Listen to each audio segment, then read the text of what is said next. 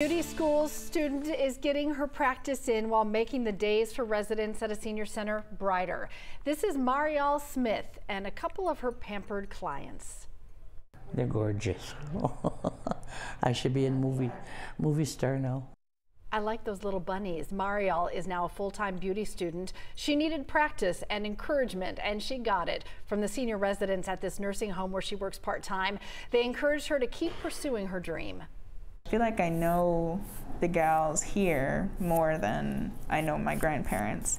So I only see them like once a year. Yes, she is like a granddaughter to me.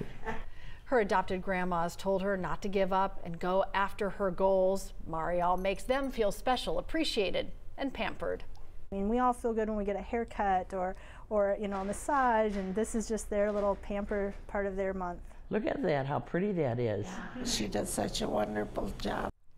And she does it for free. She hopes to eventually open her own nail salon with paying customers someday, never forgetting the ladies who helped her get there. And those relationships that you have with your elders, it's so important. So to know that she's getting something far more than volunteer hours for beauty school. She's walking away with a lot of knowledge. Yeah, she's learning a lot. And I was thinking about how lonely those centers can be sometimes. Yeah. So that connection is such a win for everybody. All right, awesome young lady.